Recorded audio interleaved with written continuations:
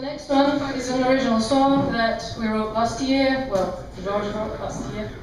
Uh, when both of us were, for a while, uh, laid off. So uh, the title, the title is "Unemployed." Unemployed.